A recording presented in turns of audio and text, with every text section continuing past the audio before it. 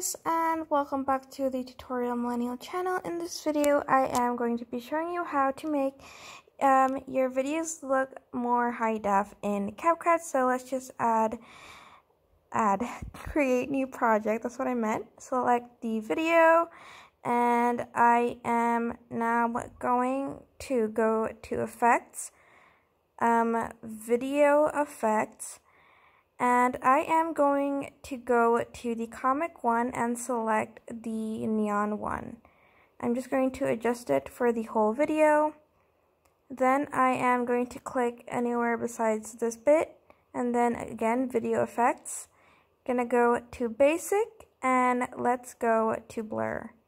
And again, you're just going to want to adjust that. And I am now going to actually export it first right here on the bottom right corner. And then after I've exported it, I'm going to go back and delete both of the effects that I put on. Then I'm going to go back and press on the overlay button. Then I'm just going to press add overlay and select this video that I just made. And again, I'm just going to adjust it to the video. Oops, that's still a little too small. Then I'm going to select on the video, go to splice, and select the dodge option and have it around 40. And I'm going to select on the video on the back. Wait, let me just turn down the volume for both. Alright.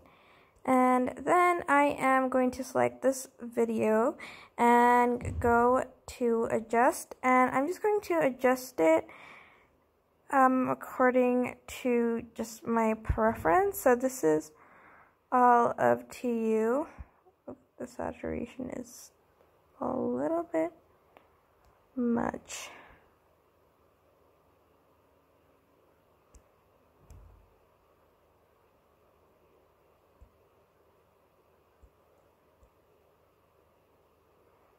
And I will be back when I have sort of adjusted it. Um, it'll be different for every video, so if you follow my video, it won't look that great. So I'll be right back. And I am back with the results, so let's just play it. Here it is.